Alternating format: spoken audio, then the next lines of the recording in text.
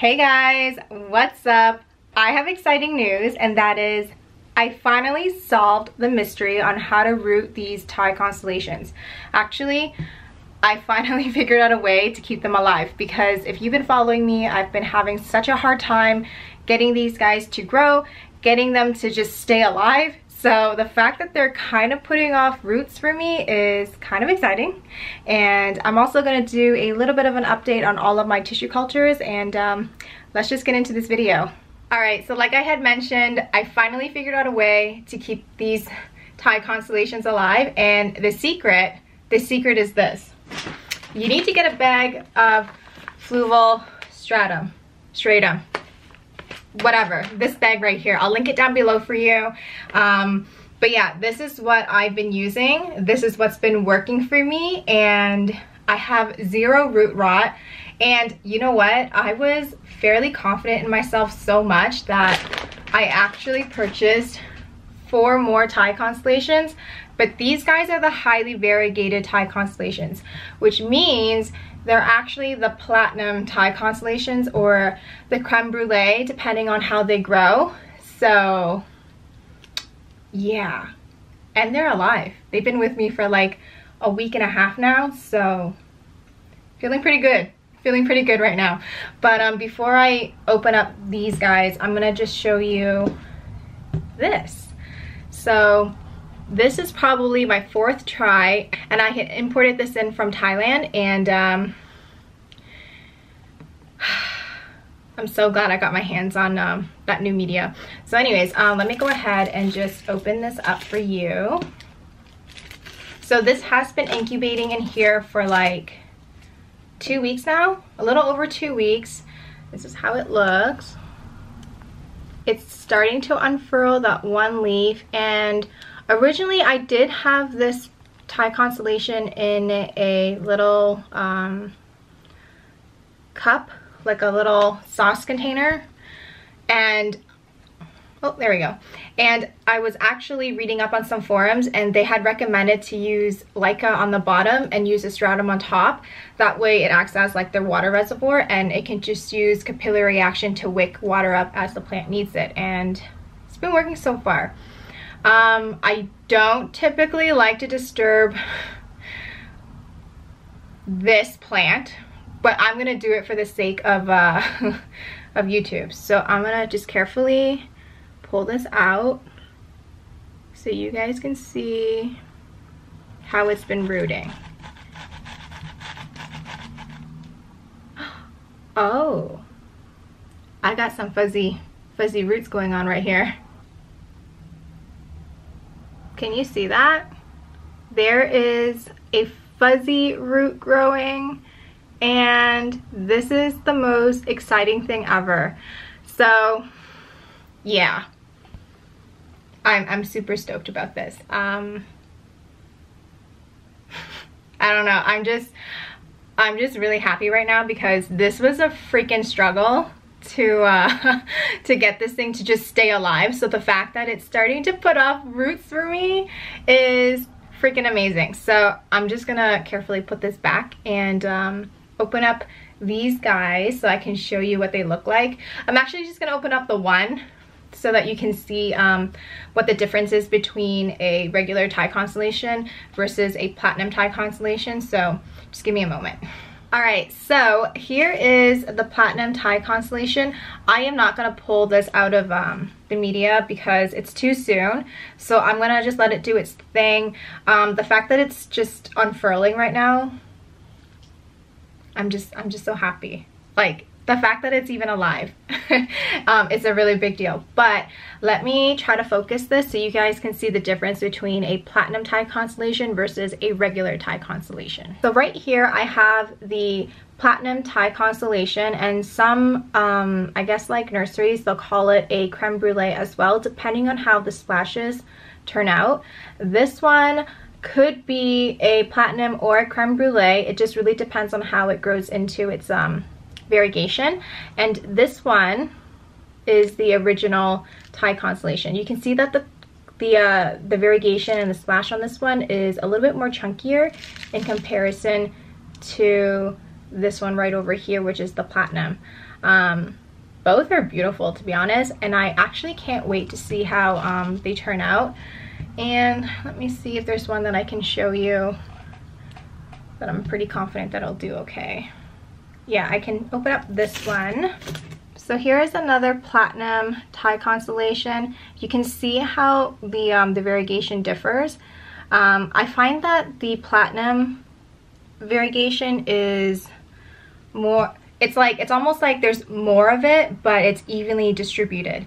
Whereas the um the regular Thai constellations the splashes are there but it's like splashes if that makes any sense and like the creme brulee i think it's supposed to be very similar to the platinum but the variegation has more I feel like I'm gonna have to just get a creme brulee and show you what that looks like. But if I can find a picture, I'll put it up for you. But um, but yeah, oh, this one actually creeped out. So I'm gonna go ahead and take this opportunity and show you the roots on this guy.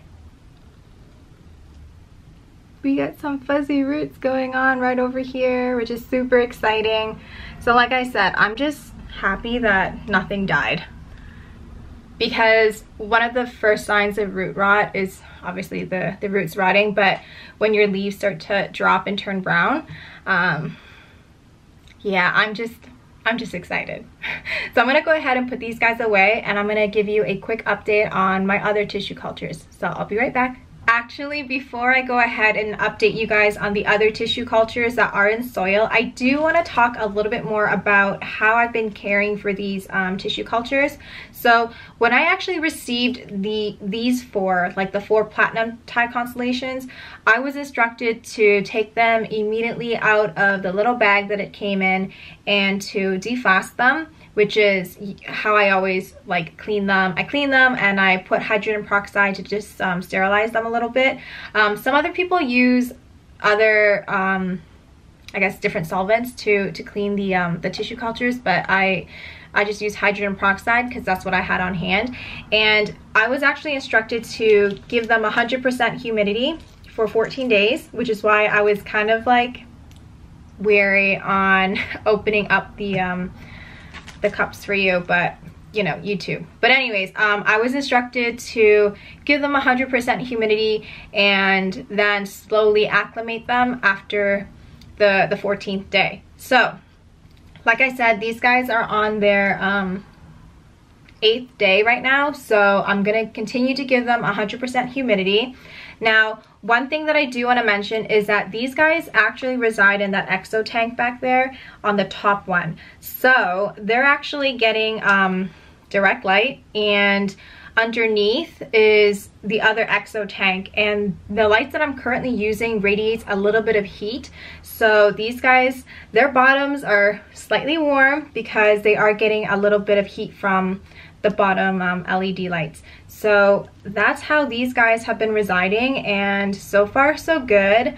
I can't complain and the fact that things are happening and you know unfurling and there's no browning, I'm I'm just ecstatic. So that was uh, my success story. So now we're gonna get on to the other tissue cultures that are currently in soil. So I did see a few comments of uh, people asking if my Florida Beauty started to give variegation and so you can see the answer is no.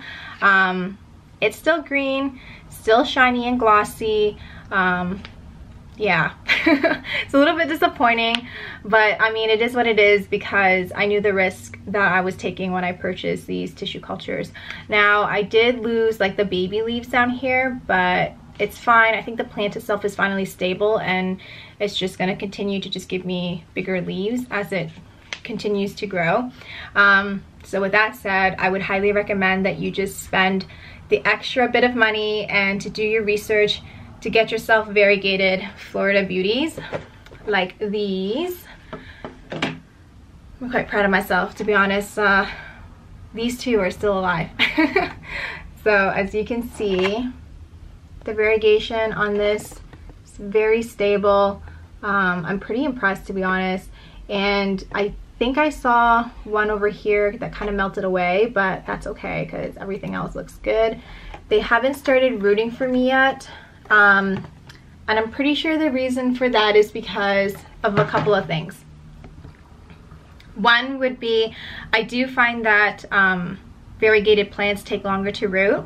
But two, I did clip a few of these guys and then just shoved it into soil and uh, was just hoping for the best. So it's gonna take some time. And you know, I, I have faith, so I'm just gonna put this back on. Um, I did start acclimating this plant already. So, and what I mean by that is like the, the circles, like the holes are fully open now. And I'm just gonna let it do its thing, leave it alone, and hopefully it'll continue to thrive and not die. That's all I want. I just want it to stay alive. Now, these guys are my billeties and they are growing and doing very well. This aerial root is kind of crazy, but still no variegation. And um, like I said, kind of the risk that you take when you um, purchase tissue cultures that didn't have much variegation to begin with. And these guys, let me see. These guys are also my variegated billeties and still nothing yet. Um, I think when fall is here, I'm probably going to switch out um, this shelf over here that you can't even see and actually move all the tissue culture plants to over there so they get their own source of uh, light. And it's gonna get more light in hopes that it'll stimulate some variegation. But I still think that um, variegated plants put out green leaves because it needs to establish itself first. Um, I really hope that's true because if not I'm just going to be stuck with uh, a bunch of typical green billeties but it's fine. It, it's the journey. It's the journey, not, not the destination. I'm just gonna keep telling myself that. So I hope you guys enjoyed this video. To me, this was a huge success because one, everything is still alive. Two, they're actually starting to root. So what more can I ask for? Like honestly. um, I was so heartbroken when um, they all just disintegrated before my eyes. But uh, but yeah, the fact that I have no drop leaves is uh, kind of a miracle. um, and yeah, uh, my other tissue cultures, although they are in soil and they are still green and they haven't really put off any variegation, that's okay. Um, maybe it'll come later. But, you know, like I said, it's the journey, not so much a destination. It'd be nice if the destination was how we anticipated it to be in our heads. But, you know, we'll, we'll get there. um, in any case, I hope you guys had a great day and um, thank you so much for following me along this journey and I'll see you guys next time. Bye.